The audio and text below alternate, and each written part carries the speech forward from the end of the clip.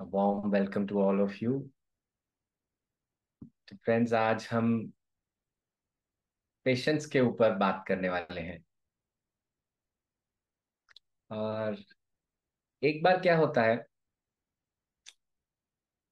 एक Japanese master के पास एक व्यक्ति पहुँचते हैं और उनको कहते हैं कि आ, मुझे ये जो आर्ट ऑफ़ कराटे है कराटे सीखने हैं तो इसको सीखने में कितना समय लगेगा? तो वो कहते हैं दस साल तो लग जाएँगे कराटे सीखने में। कहे अच्छा चलो दस साल लग जाएँगे, पर अगर मैं दुगनी मेहनत करूँ तो कितना समय लगेगा? वो कह रहे बीस साल। कह रहे बीस साल? क्योंकि मैं तो दुगनी मेहनत करूँगा, आप कह रहे हो बीस साल लगेगा। अच्छा चलो ठीक है, मैं दिन रात मेहनत करूँ तो कितना समय लगेगा? तो उन्होंने कहा, तीस। साल तो उन्होंने कहा कि, मैं तो अपना हार्डवर्क ज़्यादा कर रहा हूँ, समय कम होना चाहिए। आप कह रहे हैं समय ज़्यादा लगेगा। ऐसा क्यों कह रहे हैं?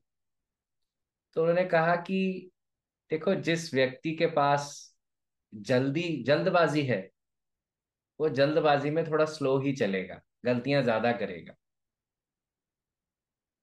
तो दोस्तों, यहाँ पे जो लेसन हमें मिलता है, वो पेशेंस का लेसन मिलता है।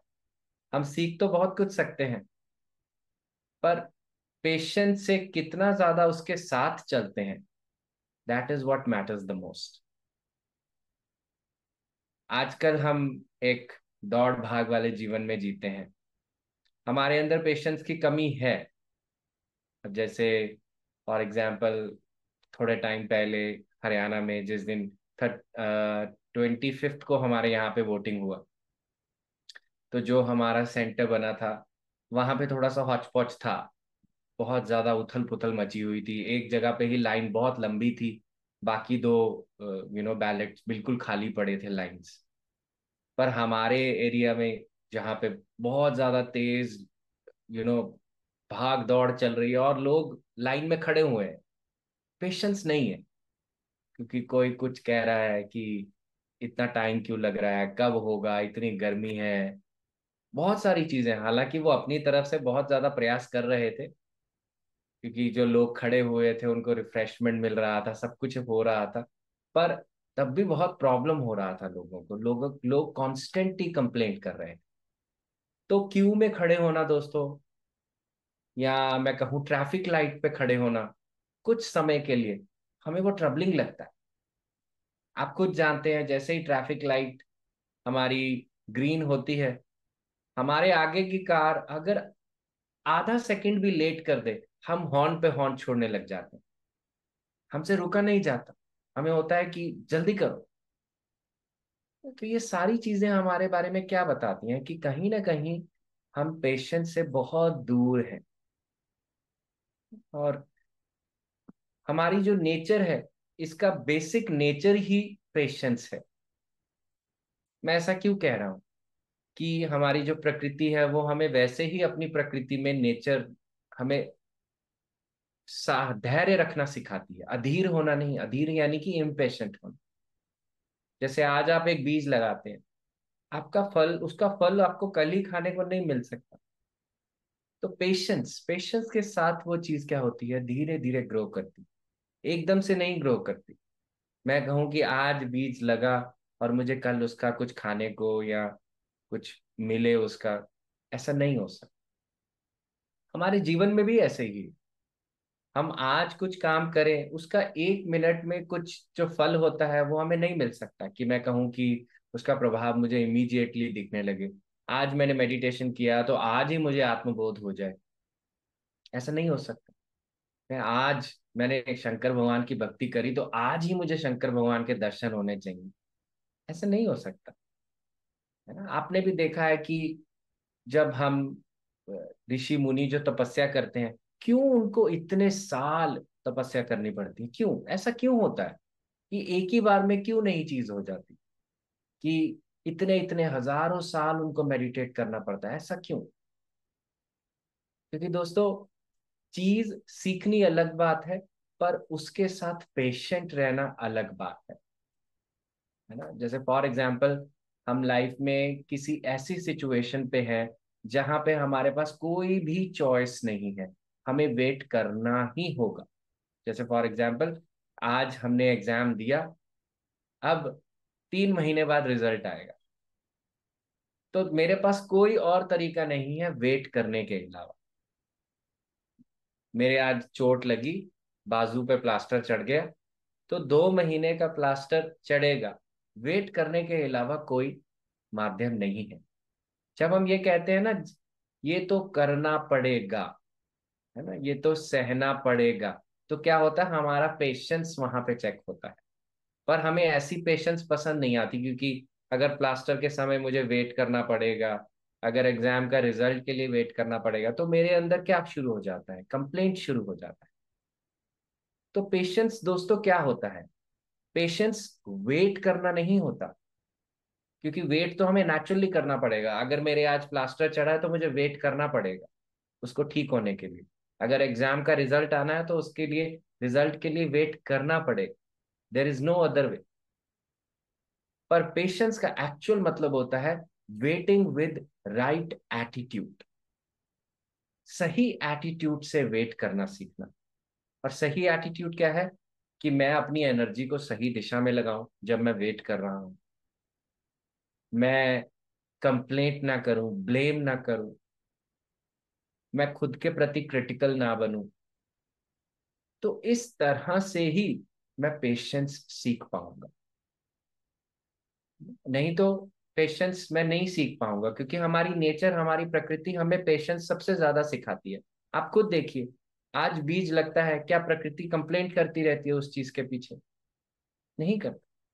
उसका बेसिक नेचर क्या है कि उस चीज़ में ठहर जाना, उस चीज़ में रुकना वेट करना and and waiting with the right attitude सही दृष्टिकोण से, अपनी सही एनर्जी से वो उस चीज़ के लिए वेट करती इसीलिए ये कहना भी गलत नहीं होगा कि अगर हम अपने जीवन की कार्मिक एनर्जी को डिजोल्व करना चाहते हैं बिकॉज़ बहुत बार लोग ये क्वेश्चन पूछते हैं कि मेरे कर्मा कैसे डिजोल्व होंगे?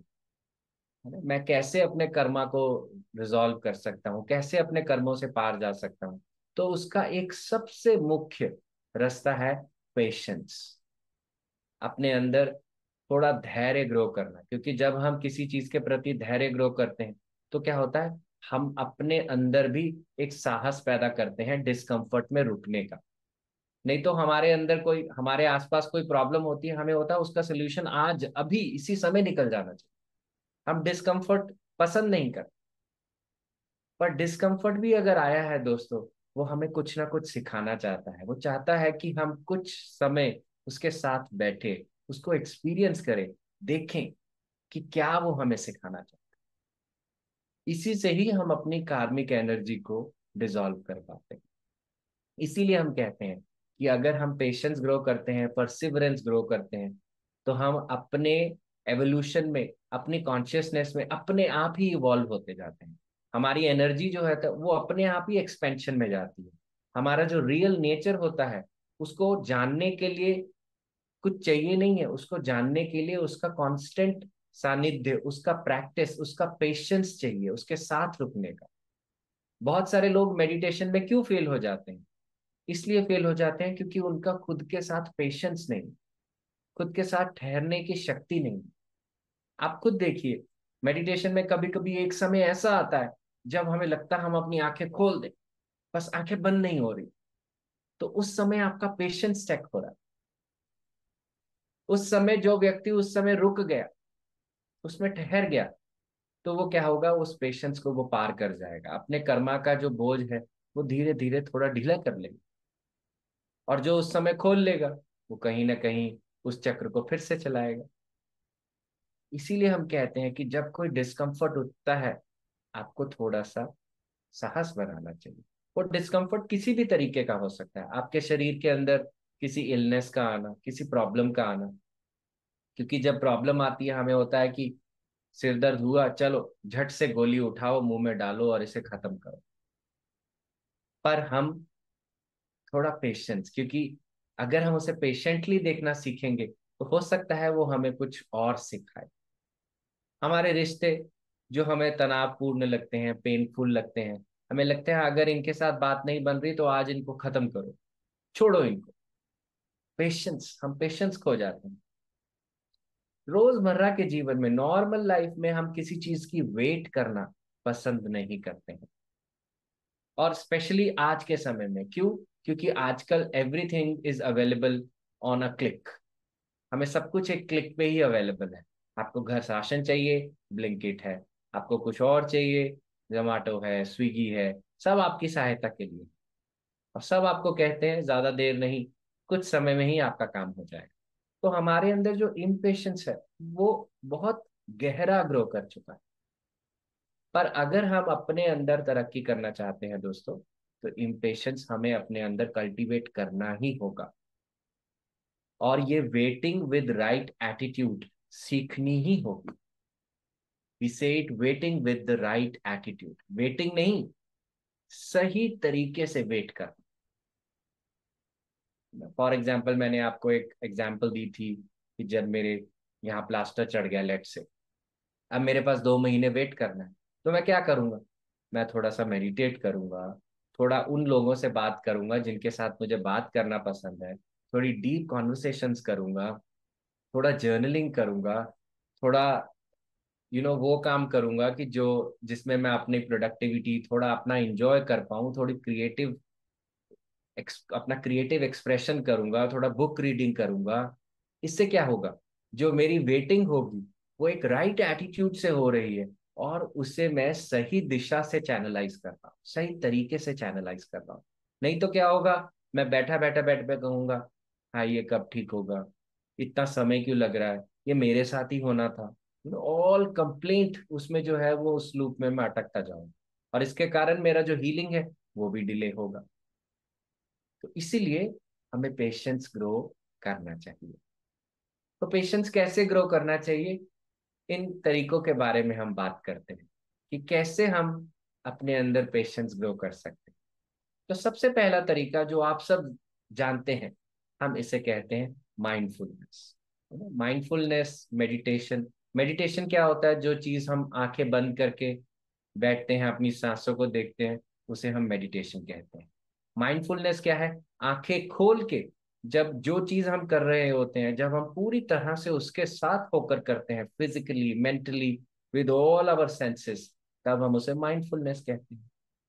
तो जब कोई भी काम करें, उसे माइंडफुली करें। खाना माइंडफुली खाएँ। फिजिकली मेंटली एक जगह पर होके अपनी सेंसेस को अपनी प्लेट पर लाकर, अपने खाने को देखते हुए स्मेल करते हुए फील करते हुए, उसे खाना उसे हम माइंडफुल ईटिंग कहते हैं। माइंडफुली वॉक करना। जब चलें तो अपने कदम नोटिस करें। पूरा फिजिकली मेंटली वहाँ प्रेजेंट होना। जब आप किसी से बात कर रहे हैं, तब पूरा फिजिकली मेंटली प्रेजेंट होकर बात करें। तो हर काम को अगर हम माइंडफुली करना शुरू करते हैं तो होता क्या है? हमारे अंदर पेशेंस नेचुरली ग्रो होना शुरू होता है। प्रेजेंट मोमेंट हमारे अंदर नेचुरली पेशेंस ग्रो करना हमारे अंदर शुरू करता है। ये नंबर वन तरीका। दूसरा तरीका क्या है?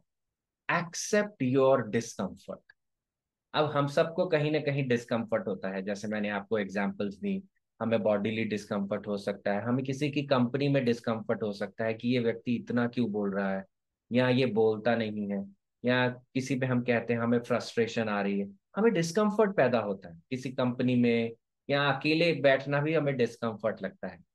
पर दोस्तों, अगर हम पेशेंस ग्रो करना चाहते हैं तो हमें अपने डिस्कम्फर्ट को एक्सेप्ट करना ही चाहिए।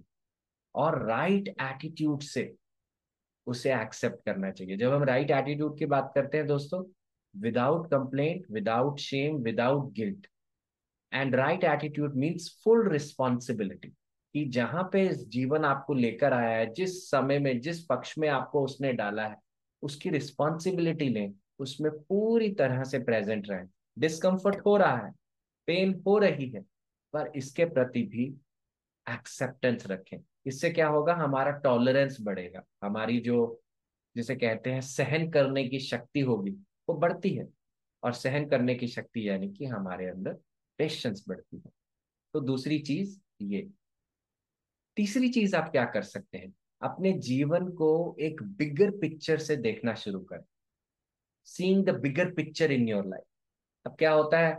अगर मेरी, मेरे अंदर, मेरी फैमिली में अगर कोई व्यक्ति है जो बहुत ज़्यादा बोलता है, जो मुझे डिस्कम्फर्ट पैदा करता है, मैं जब उसकी, मैं फ्रस्ट्रेट क्यों होता हूँ? क्योंकि मैं शॉर्ट पिक्चर देखता हूँ स्मॉलर पिक्चर ऑफ़ लाइफ कि ये तो बातूनी है, ये तो ऐसा का ऐसा ही है। या अगर मेरे अंदर कोई हेल्थ इश्यू आया, मेरे को डिस्कम्फर्ट लगता है कि हाँ ये क्यों आ गया? ये मुझे ही आना था। तो इस तरह का जब डिस्कम्फर्ट आता है तो क्या होता है? हमारा जो देखने का तरीका होता है उस चीज़ को, एक स्मॉलर पर्सपेक्टिव होता है, छोटा पर्सपेक्टिव हमारे अंदर ग्रो होता है। पर लार्जर पर्सपेक्टिव क्या कहता है? कि इन ask the right question larger perspective ये कहता है। और क्या है? Instead of asking why it is happening to me ask what it is teaching me जब हम कहते हैं हाँ ये मेरे साथ ही क्यों हो रहा है?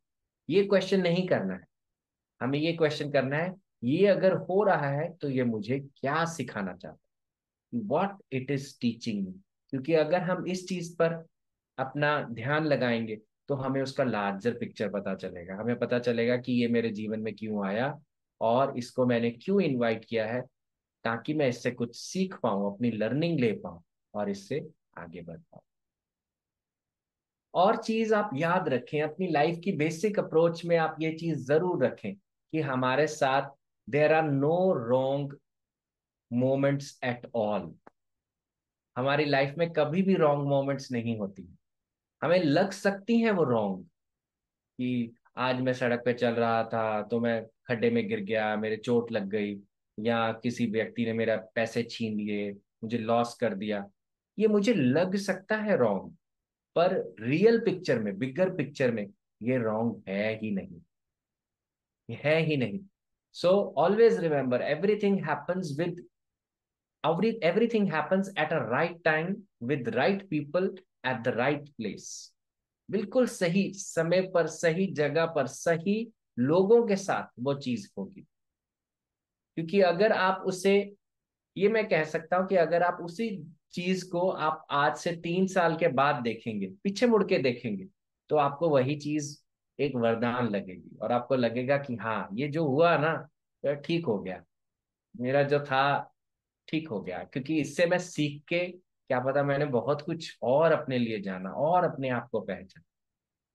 तो जीवन के जो छोटे छोटे संघर्ष हैं, जो डिस्कम्फर्ट है हमारा, वो बेसिकली क्यों आया है?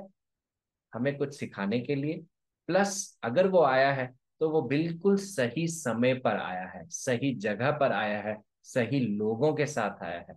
That is why it exist so that's the next one and what else you can do learn to slow down slow down yourself slowing down का मतलब क्या होता है?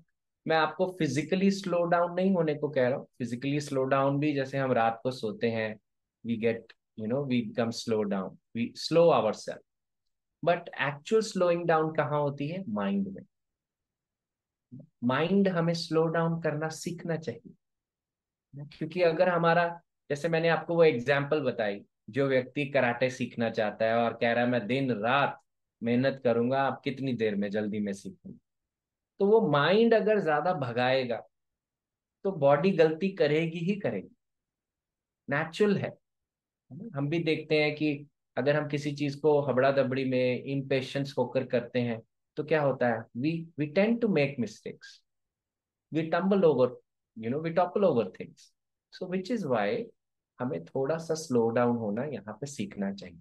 और कैसे कर सकते हैं? जब आपको लगे कि आपके अंदर हाइपर एक्टिविटी हो रही है, आप बहुत सारे थॉट से उबड़ खाबड़ हो रहे हैं, बहुत बातें कर रहे हैं अपने आप से, और आप हेस्ट में जा रहे हैं, आपके अंदर इरिटेशन फ्रस्ट्रेशन बढ़ रहा है आपको अपनी आवाज़ में वो चीज़ नज़र आती है तो डीप ब्रेथ लेना सीखें। अपने आप को बार बार डीप ब्रेथ में लेकर जाए, क्योंकि डीप ब्रेथ एक साइन हो सकता है अपने आप को अलाउ करने का slowing down that it is safe for me to slow down it is okay for me to slow down और चीज़ क्या कर सकते हैं? जैसे आप लिसनिंग लिसनिंग प्रैक्टिस करिए। हम लोगों को सब बताना पसंद करते हैं, पर सुनना पसंद नहीं करते। हमें लगता है सुनना नहीं है। सुनने में मेरा दिमाग खाली कर देंगे ये लोग। पर पेशेंस टू लिसन ये हमारे अंदर शक्ति बढ़ाता है, हमारा दिल बड़ा करता है, हमारे अंदर टॉलरेंस बढ़ती है। हमारी खुद की जो एनर्जी होती है, वो बड़ी होती है। हमारी लाइट शाइन होती है, जब हम किसी को माइंडफुली सुनते हैं। उसके साथ बैठते हैं और जो वो हो रहा है उसके साथ बने रहें। क्योंकि हमें सबसे ज़्यादा आप देखिए इरिटेशन कब आती है? जब लोग बेवजह से बोलते रहते हैं we say cut the crack we say this but then if we learn to be present we listen to them mindfully हमारा जो हार्ट है, हमारी जो कॉन्शियसनेस है, उसके अंदर एक्सपेंशन होगा। तो एक चीज़ आप ये कर सकते तो अगर हम इन सारी चीज़ों को कहीं ना कहीं अपनी लाइफ में अप्लाई करें, जैसे एक्सेप्टिंग द डिस्कम्फर्ट अपने डिस्कम्फर्ट को हम एक्सेप्ट करना शुरू करें, अपने जीवन को एक बिगर पिक्चर में देखना शुरू करें। और तीसरा, हम ये याद रखें कि हमारी लाइफ में जो मोमेंट्स आ रही हैं, वो सही जगह पे आ रही हैं, सही लोगों के साथ आ रही हैं, सही समय पर आ रही हैं। चौथा, हम स्लो डाउन होना सीखें थोड़ा अपने माइंड को रेस्ट करवाना सीखें। क्योंकि हमारा बॉडी और माइंड का जो कनेक्शन है ना, थोड़ा डिफरेंट चलता है। जैसे हमारी बॉडी क्या करती है, मसल्स बनाती है जब हम वेट उठाते हैं। पर हमारा माइंड मसल्स बनाता है जब हम वेट छोड़ते हैं। So when you let go of the dumbbell from here you actually grow muscles here and when you hold the dumbbells here you grow the muscles of your body तो इसी तरीके से ये काम होता है। सो स्लोइंग डाउन हमें लेटिंग गो सिखाता है, उस वज़न को छोड़ना सिखाता है। और पांचवी चीज़ क्या है? डीप लिसनिंग हम लिसनिंग सीखें। सहन शक्ति से, धैर्य से बैठना और किसी को बोलने की परमिशन देना और उसको सुनना हमारे अंदर पेशेंस ग्रो करता है। तो आई होप हम इसे अपनी लाइफ में प्रैक्टिस करेंगे दोस्तों। और एक चीज़ मैं आपको कहना चाहूँगा today I was thinking when I was just thinking over you know this topic आपने कभी सोचा है कि एक डॉक्टर के पास जो व्यक्ति आता है, उसको पेशेंट क्यों कहते हैं? क्यों उसे पेशेंट कहा जाता है? क्योंकि बीमारी हमें पेशेंस सिखाती है। और पेशेंस का लेसन हम सबके लिए होता है। एक पेशेंट फॉर एग्जांपल पेशेंट को सीखना है कि मुझे इस बीमारी के प्रति फॉर एग्ज़ाम्पल फ्रोजन शोल्डर है, मुझे इसके प्रति पेशेंस चाहिए। आज मैं दवाई भी खाऊँगा, दवाई थोड़े समय में काम करेगी पेशेंस चाहिए। और डॉक्टर को भी मेरे प्रति पेशेंस चाहिए। डॉक्टर को भी, जो इलाज करने वाला, उसको भी पेशेंस चाहिए। क्यों पेशेंस चाहिए? क्योंकि अगर वो अपने व्यक्ति को सुनेगा नहीं पेशेंट को सुनेगा नहीं तो उसका इलाज कैसे करे? तो इसीलिए जो पेशेंस का लेसन है इस रिश्ते में हमें बहुत अच्छे से दिख सकता है।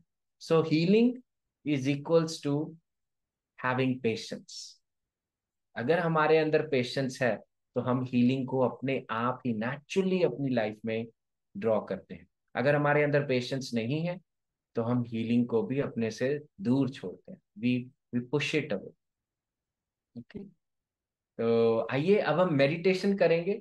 पेशेंस के साथ। कहीं जाना नहीं है, कोई जल्दबाजी नहीं है, कुछ अचीव नहीं करना है हमें we just have to sit without expectation and if we sit let see what I like you to sit comfortably and आप अपनी आँखें बंद कर सकते हैं।